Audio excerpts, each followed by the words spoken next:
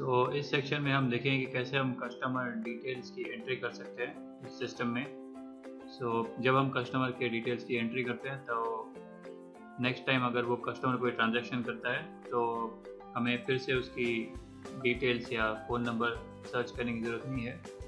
हम इसी सिस्टम में सर्च कर सकते हैं और उस कस्टमर को ऑर्डर के सामने अटैच कर सकते हैं। और अगली बार अगर हमें कोई ऑफ़र प्रोडक्ट के ऑफ़र या कोई अदर प्रमोशनल एसएमएस या ईमेल भेजना हो तो हम इसी सिस्टम के थ्रू इजीली कस्टमर को ऑफ़र भेज सकते हैं।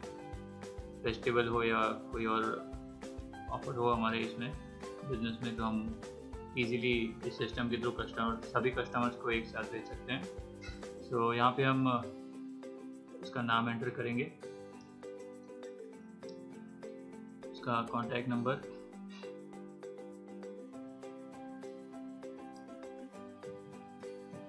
उसका एड्रेस एड्रेस और ईमेल आईडी जो है वो ऑप्शनल है। अगर आप चाहो तो एंटर कर सकते हो, नहीं तो इसे ब्लैंक छोड़ सकते हो।